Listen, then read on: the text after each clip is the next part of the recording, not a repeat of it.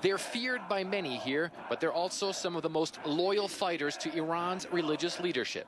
The Basij militia's mission is to protect this country's Islamic order. And one of its commanders told me they're willing to take on ISIS.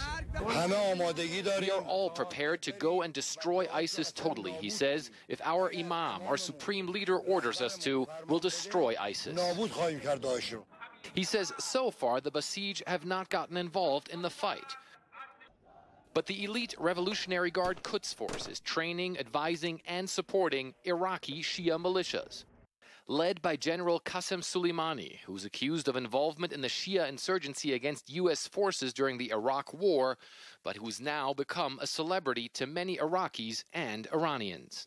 The Iranians believe it's their strategy that's making a difference in the fight against ISIS. They also tell us they want better cooperation with the U.S. They say at this point in time, the level of trust simply isn't there. That feeling is mutual. The U.S. has also denied any direct coordination with the Iranians as it continues to lead the air campaign against ISIS. At the moment, we consider the United States to be a threat to us because its policies and actions are threatening to us, the commander of Iran's ground forces tells me. We would like the U.S. to change its rhetoric and tone of voice so that our nation could have more trust in U.S. military leadership. The Iranians believe the airstrikes against ISIS are not effective, and they say they feel countries allied with the U.S. are not seriously trying to defeat the group.